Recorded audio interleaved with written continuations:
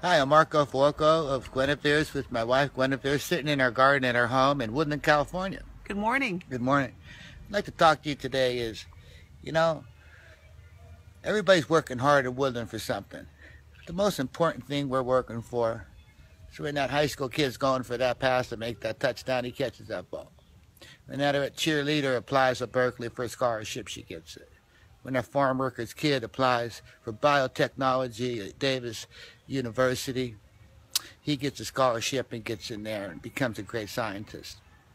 You see, at Guinevere's, we're teaching the kids how to make pizza dough, whether they're second grade or older. We're all about creating a better world. We teach in painting classes and art classes.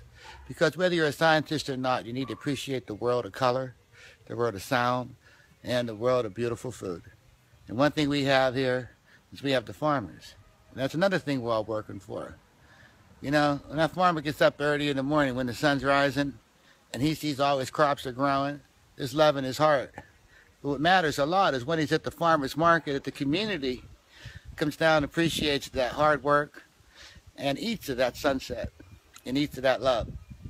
So we at Guinevere's are cooking that food and we're going to be putting canvases outside for your kids to come and paint and it's free of charge you come on down and paint for a while, and we see if we can sell these paintings to the larger world.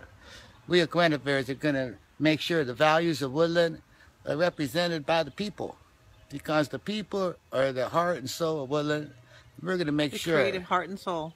We're going to make sure that that kid catches that pass, that scholarship's gotten at uh, Davis, farm worker's kid becomes a scientist, and all the birds and bees thrive in a natural environment that we still have. It's all about the families in the universe. Right now, I got to plant my tomato plants. So we better get to work, huh, Jen? Yeah, we got to. Mm. Mm. Love you.